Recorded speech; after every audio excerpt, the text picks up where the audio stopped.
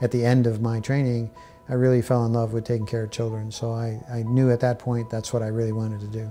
We get a lot of referrals uh, from emergency rooms, urgent care centers, and pediatric offices for children with, with fractures.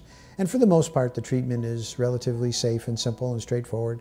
But there are some challenging fractures that require surgery, and we're here for those as well. Children's bones are different, they look different on an x-ray, and unless you see them every day, things that we think are normal in children sometimes can confuse people that are used to seeing adult x-rays every day. In the area of, of pediatric spine deformities, scoliosis or curvature of the spine is relatively common and, and more common, I suppose, than many people believe. We do have a lot of very innovative and advanced technologies available now for the treatment of scoliosis that makes it completely different than the way it was treated 15 or 20 years ago.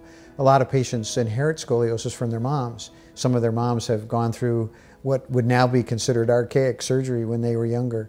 Uh, and they were very afraid their daughters are going to have to suffer through the same type of management, and that's not necessary any longer. The children with muscular dystrophy or cerebral palsy or other uh, what we term neuromuscular diseases commonly develop curvature of the spine and it requires different types of techniques to manage that surgically. So th those cases can be very challenging, and, but they're also very rewarding too.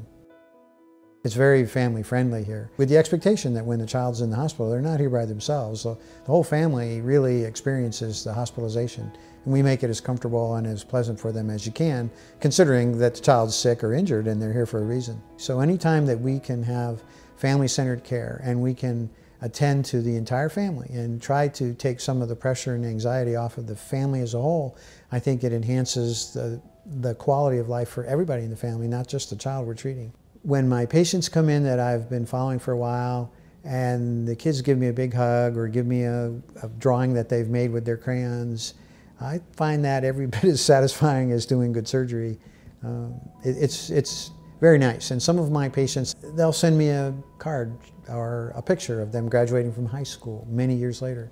Those, those are amazing moments that make, uh, make my life very, very much more pleasant and satisfying.